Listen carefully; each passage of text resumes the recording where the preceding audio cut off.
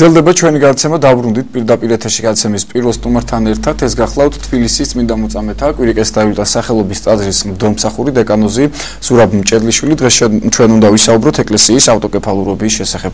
მოგესალმებით მამა ზურაბ დაგლოცეთ. დაგლოცოთ მადლობთ მოწვევისთვის. მადლობა თქვენ მობძანებისთვის მამა ზურაბ პირველ კითხვა ასე დავსვათ. თქვა რით განისაზღვრება ეკლესიის ავტოკეფალურობა. პირველი და მთავარი არგუმენტი, რითაც ავტოკეფალური ეკლესია ფუძდება, ეს არის მოციქულთა მიერ ხადაგება. როდესაც ეკლესია დაფუძდა, როდესაც სულიწმინდა გადმოვიდა და მოციქულობა დაიწყეს ხადაგება, ისინი სხვადასხვა ქვეყნებში შედიოდნენ, ხადაგებდნენ ქრისტიანობას და იქ ტოვებდნენ, გამოირჩევდნენ განსაკუთრებულ სულიერებით გამორჩეულ ადამიანს, აკურთხებდნენ მას. დიახ. ეპისკოპოსად დაადგენდნენ და ამით დგებოდა ეკლესია ამ ქვეყანაში და მოწყულები თავისი ეპისტოლეებით მართავდნენ სხვადასხვა ეკლესიას, მიმართავდნენ მათ. და ასე ყალიბდებოდა საზოგადოება, რომელიც ქრისტეს წინაშე შემოდიოდა. და სწორედ პირველი მთავარი არგუმენტი და ნიშანი, რომ ეკლესია არის ავტოკეფალური, არის სწორედ მოწყულთა მიერ კადაგება და მათ მიერ დაფუძნება.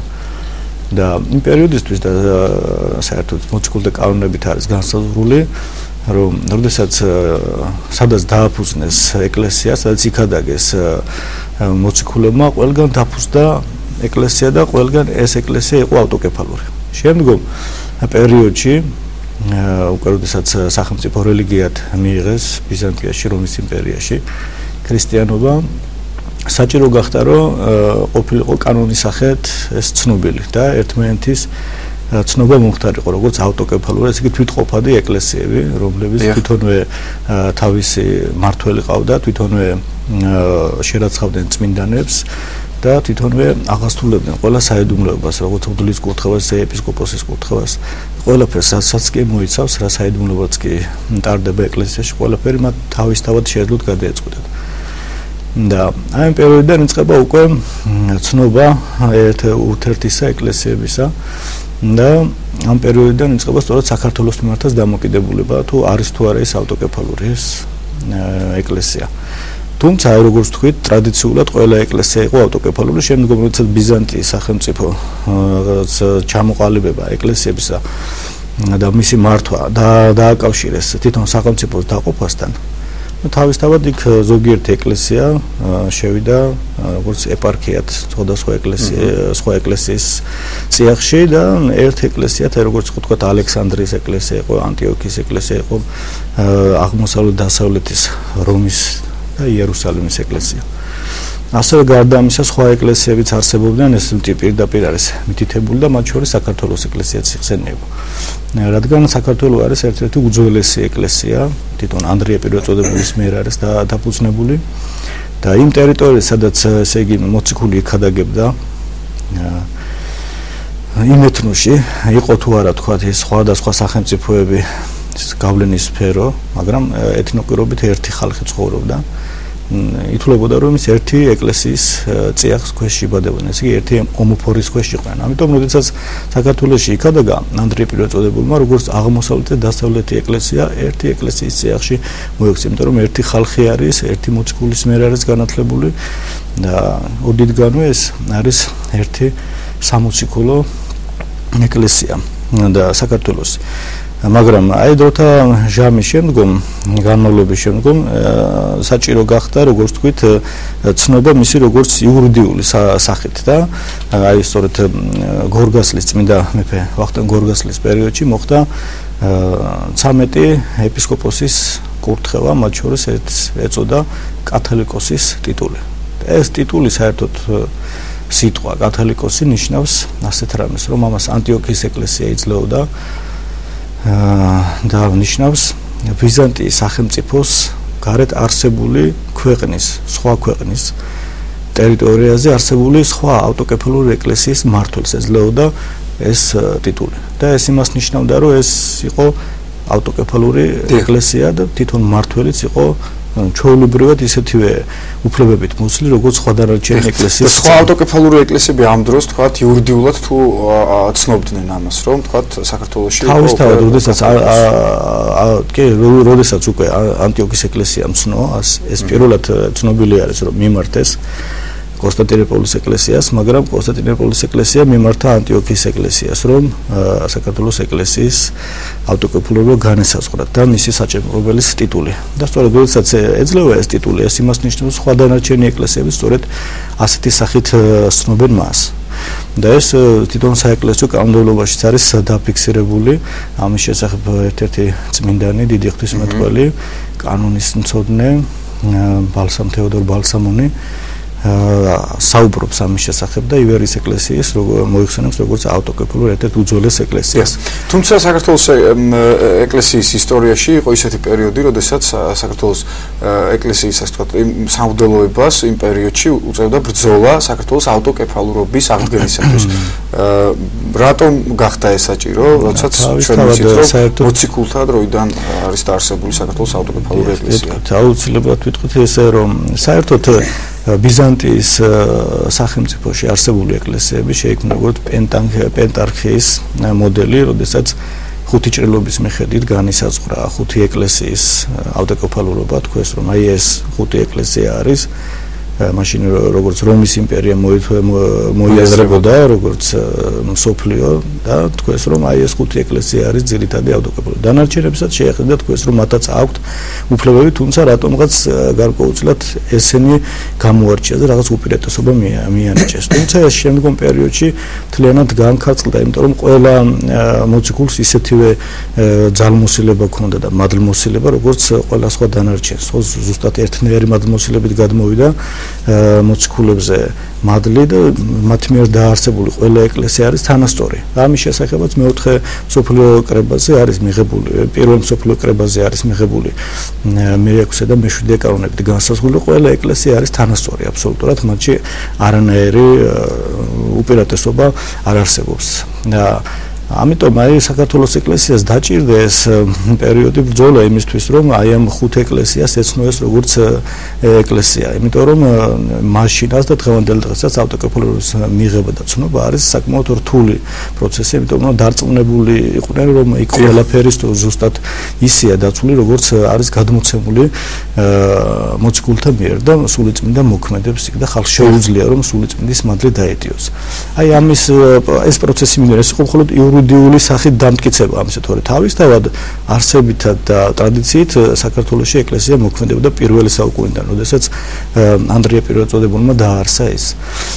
და არასდროს არ ყოფილა სხვა ეკლესიასთან ურთიერთობაში საქართველოს ეკლესია. მხოლოდ ანტიოქის ეკლესიისგან მიიღო ეს ტიტული და ამის შემდგომ მოხდა სხვა დანარჩენი ეკლესიებისგან ცნობა. სხვა ეკლესიასთან არასდროს არ ქონია ურთიერთობა ასეთი სახით, რომ სხვა ეკლესიისგან გამოეთხოვა თქვათ როგორც აი კერიარხაულობა რასაც ქვია დედა ეკლესიობა. სხვა ეკლესიასთან საქართველოს ეკლესიას არასდროს არ ქონია შეხება. იყოს ესეთი მოსაზრებები რომ აღმოსავლეთ რომის ეკლესია კი ბიზანტიის კონსტანტინოპოლის ეკლესიასგან ქონდა კიდევ აღებული და მიმართვა მას ავტოკეფალურობასთან დაკავშირებით. თუმცა ასეთი რამე არ ფიქსირდება ეს არის სწორედ აი წმინდა ვახტანგ მეფის გორგასლის პერიოდში, როდესაც მან თავად გააგზავნა ანტიოქიაში ჩვენი წარმომადგენლობა და სწორედ იქ მოხდა ამის კურთხევა. დიახ. აა თქვათ აი ზოგადად როგორი ურთიერთობები არსებობს ავტოკეფალურ ეკლესიებს შორის? არსებობს თორე მათ შორის ასე ვთქვათ თანასწორ უფლებიანობა. დიახ, ამის შესახებ აი თქვი ჩვენ და კიდე უფრო დავწურმანდები და ვიტყვით რომ ეს თვითონ კანონებით არის განსაზღვრული, როგორც მოციქულთა პერიოდიდან შემდგომ სხვადასხვა მსოფლიო საეკლესიო კრებები აფუძნებდნენ ამას, რომ ყოველას ქონდა თავის ეკლესიაში თანასწორი უფლება და არანაირად არ უნდა მომხდარიყო ერთმანეთის უფლებების დარღვევა, არ უნდა მომხდარიყო სხვა ტერიტორიაზე, სხვა ეკლესიის ტერიტორიაზე გადასვლა და იქ დაფუძნება, რამე რამე იურისდიქციის გავრცელება, თუ კი ეს ეკლესია არ მოგცემდა ამის საშუალებას, თუ კი ვერ დააფუძნებდი ვერც ვერ აშენებდი ვერც ტაძარს, ვერ იმოქმედებდი იქ, ვერ მოხდებოდა შენს მიერ სხვა ეკლესიის ტერიტორიაზე მღვდლის კურთხევა მოხდებოდა შენს მიერ მღვდლი მღვდელსახურების ჩატარება და ასე შემდეგ.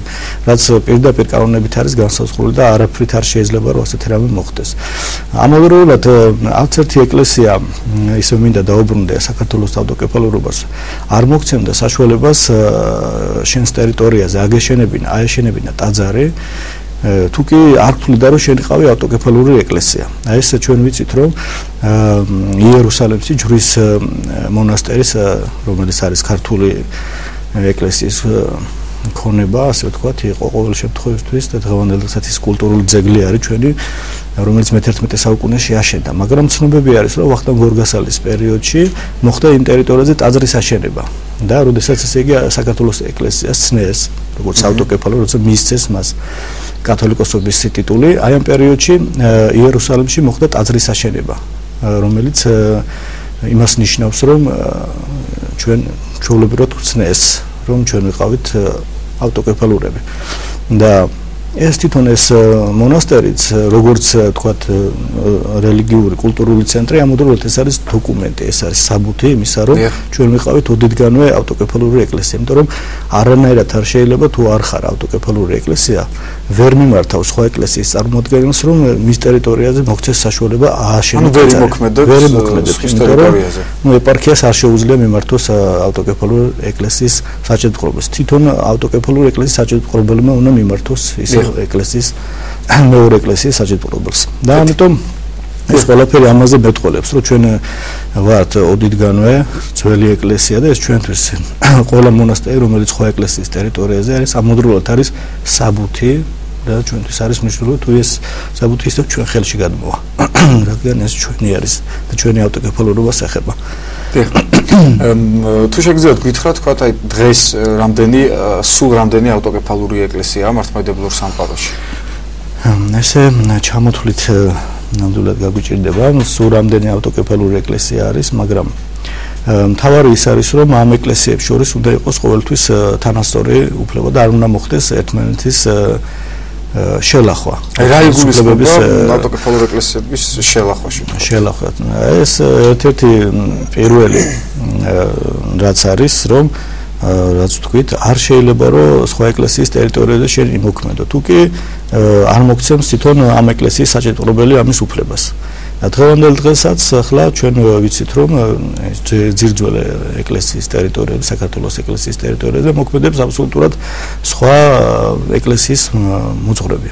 რომელთაც არანაირი უფლება არ აქვთ რომ ამ ტერიტორიებზე იმოქმედონ.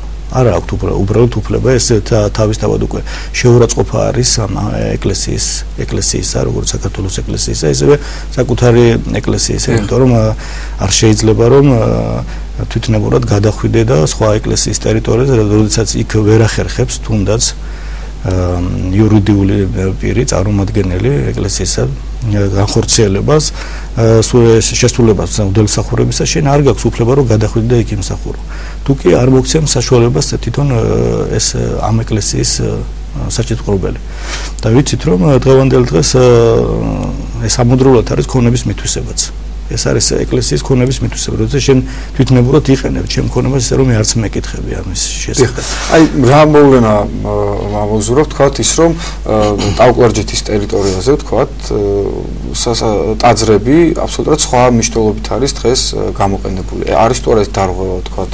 ტაუკლარჯეთშიც არის დარღვევა თავისთავად სადაც ტაუკლარჯეთი ხენ ტაუკლარჯეთში ახლა თავისთავად ეს ქვეყანა მუსულმანური არის და მათი დამოკიდებულება არის აბსოლუტურად სხვა ესენი არ არიან ქრისტიანები და არ ცნობენ მას როგორც ჭეშმარიტ სარწმუნოება და ამიტომ სხვა დანიშნულებით იყენებენ. თავისთავად იქ არსებულ ეკლესიასაც კი არ აქვს უფლება რომ იმოქმედოს თავის ტერიტორიაზე იმიტომ რომ თვითონ ის სახელმწიფო და ის რელიგია არ უშვებს არ აძლევს ამის საშუალებას. მაგრამ სადაც არ არის ასეთი რამ ახლა თქვა ეს ზუსტად ორი წერტილი არის ეს არის სამოჩაბლოს ტერიტორია ერთ-ერთი უძველესი ეპარქია რომელიც თავად მეფე წმინდა მეფე ვახტანგ გორგასლის მიერ არის დაფუძნებული ეს ეპარქია.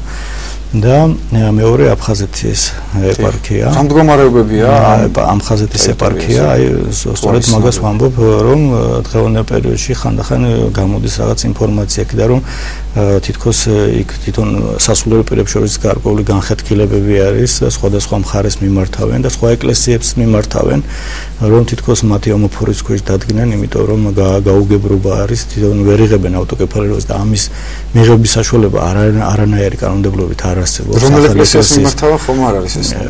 აი, ცნობილია რომ ამ ბოლო პერიოდში სოფლიო საპატრიარქოს მიმართეს გარკვეულმა ჯგუფმა იქიდან, რომელიც საერთოდ არ არიან ქართული ეკლესიის მიერ ნაკურთხნი, ესენი არიან რუსეთის ეკლესიაში. ნაკურთხი მოძღვრები, რომლებიც იქ მოქმედებენ და შემდგომ მიმართეს განხეთქილება მოხდა იქ ეთყობა უნდათ რომ რაღაც ახალი წარმონაქმნი წარმოშობილიყო ეკლესიისა რომ რომელიც ვერ მოხდება ვერენაირად. ერთ ერთი ეკლესია ამას მხარს ვერ დაუჭერს ვერ მოხდება ცნობა მათი. რადგან საქართველოს ეკლესიას როგორც ვიცით ოდითგანვე აფხაზეთი იყო ერთ-ერთი ეპარქია და დღევანდელ დღესაც საქართველოს კათოლიკოს პატრიარქის ტიტულში არის ეს სპეციალურად შეტანილი რომ ეს არის სწორედ მიტროპოლია საქართველოს. და ჩვენი უწმინდა სტეონეტარისი თავის დროზე იყო მიტროპოლიტიც ამ ეპარქიის. ჩვეულებრივი ერთ-ერთი ეპარქია საქართველოსი და ამიტომ არის ტიტულში შეტანილი ის, რომ უდიდგანვე ეს ეპარქია, ეს მხარე იყო საქართველოს ეკლესიის იურისდიქცია დღევანდელ დღესაც ასე ითვლება. ვერავინ ვერ ცნობს იმას და ვერ დააფუძნებს ახალ ეკლესიას და ვერ სხვა ეკლესიის ამოფურის ქვეშ ვერ შევა ეს ტერიტორია. და ეს დაძრები ვერ გადავა სხვის მართლობის ქვეშ. ამოდროულად საფრთხეს წარმოადგენს აქ საშიშროებას წარმოადგენს იმისას, რომ აქ სქიზმატური ეკლესიები განვი განვითარდნენ სხვადასხვა სქიზმატურმა ეკლესიებმა დაიწყონ მოქმედება ეგ და ეს ძალიან რთულ სიტუაციას და მდგომარეობას შექმნის ეგ. რას ნიშნავს სქიზმატური ეკლესია. სქიზმატური ეკლესიები არის განდგომილი ეკლესიები რომლებიც თავის თავს აღიარებენ როგორც ეკლესია თუმცა არცნობენ სხვა ეკლესიები. და არ მიიღება. ეს არის რამოდენიმე ეპისკოპოსის გამოყოფა ეკლესიისგან და თulis რომ ის მასთან არის მადლი და იწება გარკვეული განხეთქილება ერში ეს მიზანი მართული. მოქმედებები არის და ეს ამოდროულად მცდარი ყოფა არის ადამიანის ეს ეშმაკის შემოტევა არის. და ამოდროულად ესენი შემდგომ სხვადასხვა ქვეყნებში აფუძნებენ თავთავიანთ ეკლესიებს თქვათ ეს წარმომადგენლებს ნიშნავენ და ისინი იწყებენ იქ მოქმედებას. რაც თავისთავად ერში განხეთქილებას განხეთქილებაში აქვს დაბნევა ხდება ხალხის, აღიციან თუ საერთოდ წავიდნენ და შემდგომში ძალიან რთული პროცესების დევს თან ამას. ამიტომ აი უნდა ვიცოდეთ რომ იქ ვერანაირი სხვა განვითარება ვერც სამაჩაბლოში და ვერც აფხაზეთში ვერ მოყვება ეს იქნება უბრალოდ სქიზმატურ მდგომარეობაში დადგენა იმ ხალხის საუბრებით ცალკე. იმიტომ რომ არავინ არ ცნობს 11 ავტოკეფალური ეკლესია არ ცნობს იურიდიულად ვერ ცნობს ამას და ვერ მიითვისებს ამიტომ განვითარდება ასეთი სახით. ამიტომ უნდა ვიცოდეთ ერთი რომ ის ადამიანები რომლებიც დღეს დღევანდელ დღეს იქ მოქმედებენ უნდა იცოდნენ რომ სწორედ ასეთი გადაწყვეტილებით უფლის წინააღმდეგ მიდიან რადგან ყველა კანონი რომელიც არის სოფლიო კრებაზე მიღებული და მოციქულთა მიერ დადგენილი ეს არის ღვთის ნების განცხადება და მეტი არაფერი. ეს არის სრული ჭეშმარიტება. ამის დაცვა თუ არ მოხდა ესე იგი ეს ადამიანი უბრალოდ უფლის წინაშე არის ამბოხში და განდგომილებაში და თუ ამბოხში არის თავისთავად უკვე ვერანაირად მადლის ქვეშ ვერ იქნება. ასევე არ შეიძლება როდესაც სასულიერო პირს რომელსაც გაფრთხილება აქვს მიცემული და ის არ ხვევს და არ ემორჩილება თავის საჭეთ პრობელს ეს ესეც მოწყულდა 25 კანონით არის განსაზღვრული, რომ უნდა დაემორჩილოს მის უპირატეს, არ შეიძლება რომ სხვა ეკლესიის წარმომადგენელმა მას ჯილდო გადასცეს, ან რაღაც მოიხსენოს უფრო მაღალ ხარისხში, ესე როგორც თქვა, არის იქ ბესარიონ აპლია, რომელიც საქართველოს ეკლესიის წიაღში იკურთხა და დღევანდელ დღეს მოიხსენა როგორც მას ეპისკოპოსად ხანდახან როგორც აფხაზეთის ეპარქიის მართველად ასე და ასეთი რამის გაკეთება არანაირად არ შეიძლება ვერ მოხდება მის ეპისკოპოს ხარში აყვანა და თუ მოხდება ეს თავისთავად უკვე იქნება მოწყვეტა ეკლესიისგან და მეტი არაფერი ეს არის დარღვევა პირდაპირ საეკლესიო კანონმდებლობისა და საერთოდ ქრისტიანულ ცნობიერებისა. გარდა აი ამ რაც ვახსენეთ თქვა სამეჩაბლოს და აფხაზეთის ტერიტორიაზე არსებული ეკლესიები რომელიც ბუნებრივია ოდითგანო საქართველოს ნაწილი იყო გარდა აი ამ ეკლესიებისა დღეს თუ იბრძვის თანამედროვე სამყაროში სხვა რომელიმე ეკლესია ავტოკეფალურობისთვის ეს ბრძოლით შეიძლება ეს ბრძოლა არ არის საჭირო აქ აქ არის უბრალოდ სწორი დამოკიდებულება. ეკლესია როდესაც ფუძნდება დღევანდელ დღესაც არის რამოდენიმე ეკლესიას აქვს სურვილი რომ თავისი თვითყოფადობა კონდეს ერს აქვს სურვილი. ამისთვის არის აი პირველ რიგში როგორც თქვით ის რომ ის იყოს მოციქულთა მიერ კარგებული დაარსებული ეკლესია. თუ ეს არ არის რომელიმე კერიარქალური ეკლესია, უნდა მისცეს მას ავტოკეფალო ავტოკეფალურობა. თუ ეს არ მოხდება, თავისთავად ის ვერ მიინიჭებს ამას და ვერ მიითვისებს ეს მადლის გადმოსვლა არ მოხდება.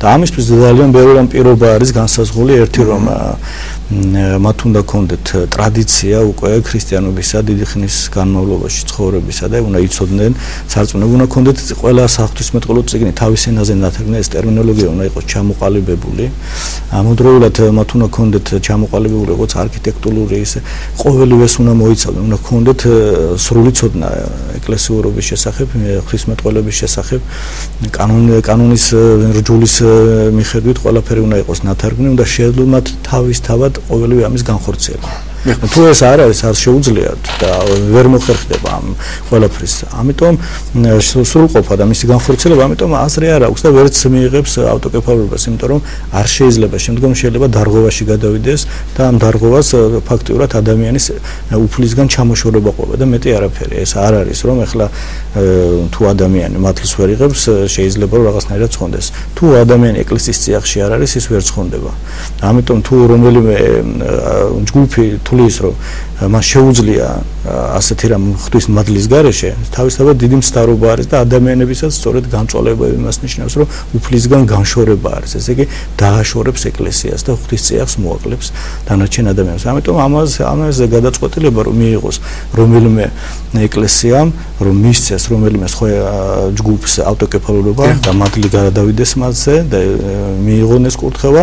ამისთვის არის ძალიან ბევრი რამ აი როგორც ვილაპარაკეთ პირობა აუცილებელი შესაძლებელი. დიახ. და აი თქვათ რამდენმა თუ არსებობს კანონი, რამდენმა ეკლესიამ უნდა ცნოს თქვათ როგორც თქვით, როგორც თქვით, როდესაც თვითონ ეკლესია ავტოკეფალური არის და ცნობილი არის სხვა ეკლესიების მიმართ, ასე ჩათulis ესე თუ ის ეკლესია მის წიაღში იბადება ახალი ეკლესია. თავისთავად სხვა ეკლესიების მიერაც უნდა მოხდეს ცნობა. თუმცა ერთი ეკლესიის ერთი ეკლესიის იურიდიულად არ არის ერთი ეკლესიის თანხმობით იძლევა ეს, მაგრამ დანარჩენებიც ჩვეულებრივად ცნობენ ამას მე, იმიტომ რომ ავტოკეფალურ ეკლესიას სწორედ ეს არის, ეს პასუხისგებლობაც არის სამუდროულად და სხვა ეკლესიებიც გარკვეული პასუხისგებლობით ეკიდებიან მის გადაწყვეტილებას, რომ მათ ესე იგი ვისაც აძლევენ ავტოკეფალურობას, მათ შეუძლიათ რომ ნდობაც არსებობს თავისთავად ეს არ არის ეს მხოლოდ რაღაც ტიტულის მიღება და ამის იქით არაფერი მოქმედება არის, ასეთი რამე არის. ეს სწორედ პირველ რიგში მოქმედება არის, მადლმოსილება და მე შეიძლება ტიტულზე ელაპარაკოს. ამიტომ არაფრით არ შეიძლება ესე რაღაც ზერელი ზედაპირულად მოხდეს დამოკიდებულება ამ ამ ყოლაფრის არასწორი გააზრება და საჭირო არის სხვა ადამიანებმა იცოდნენ რომ ასე რაღაც მოთხოვნებით არ შეიძლება რომ რაღაც მიითვისონ ან ძალდატანებით მოხდეს რომელიმე ეკლესიის ახალი ეკლესიის ჩამოყალიბება. ასეთი რამე არ ხორციელდება საერთოდ. კირიარქალური ეკლესია ახსენეთ წეგან და გამომარტო ფამილიის რასტი კირიარქალური ეკლესია არის დედა ეკლესია როდესაც ჩვენ თავისთავად გქონდა ტრადიციით და მოციქულთა კანონებით ავტოკეფალურობა, რადგან მათ მიერ დაფუძნდა ეკლესია, თუმცა იმ 4 საუკუნის განმავლობაში საქართველოსში გარკვეულწილად დევნილობის ქვეშ იყო ქრისტიანობა, იმიტომ რომ აქ წარმართული რელიგია არსებობდა და ეს ცნობილი არის ეს რელიგიები. ამიტომ თავისთავად ის რაოდენობა ეპისკოპოსი რომ აიყვანონ ისეთ ხარისში როგორც არის მართველი სამი ან ხუთი ეპისკოპოსი არის მაინც საჭირო ამისთვის. ეს თუ არ არის, ამ შემთხვევაში შენ იურიდიულად არ შეგიძლია იმოქმედო და რომელიმე ეპისკოპოსი აიყვანო ასეთ ხარისხში. ამიტომ საჭირო ხდება, რომ სხვა ეკლესიამ შეასრულოს ეს მსახურება ესაედუმლო და ამისთვის გახდა სწორედ საჭირო იმის რომ წმინდა მეფე ვახტა გორგასალმა გააგზავნა ანტიოქის ეკლესიაში 12 ეპისკოპოსს რომელთაგან ერთ-ერთი კურთხევა მოხდა როგორც კათოლიკოსად, ესე იგი როგორც მართულად ამ ეპისკოპოსის, ეპისკოპოსს და რომელიც არის უკვე ცნობა კიდევაც როგორც ავტოკეფალური ეკლესია. აი ეს არის კირიარხალური ეკლესია. მარტო კირიარხალური ეკლესია შეუძლია რომ ასეთი ეკლესიის ცნობა მას შემდეგ გაუქმოს. ჩვენი ეკლესიიდან მიმართებაში, როდესაც მოხდა ავტოკეფალობის გაუქმება, ესეც იყო ძალიან დიდი დარღვევა საერთოდ და ეს ფაქტობრივად არც კი ითვლება რომ ეს გაუქმდა, იმიტომ რომ მას არც მოუწია ეს და არ ქონდა არანაირობა. საწყალ ჩვენ აქ უნდა შევჩერდეთ და ვეღარ გამოგწობ საუბარს, დროა მოიწურა. დიდი მადლობა მამოძეებს საინტერესო საუბრისთვის. ტელემაყურებელს შევახსენებ. ჩვენი სტუდიის სტუმარი გახდათ თბილისის წმინდა მოწამეთა კვირიკეს და სახელობის ტაძრის უდალსახური დეკანოზი სურაბ მჭედლიშვილი 9 საათი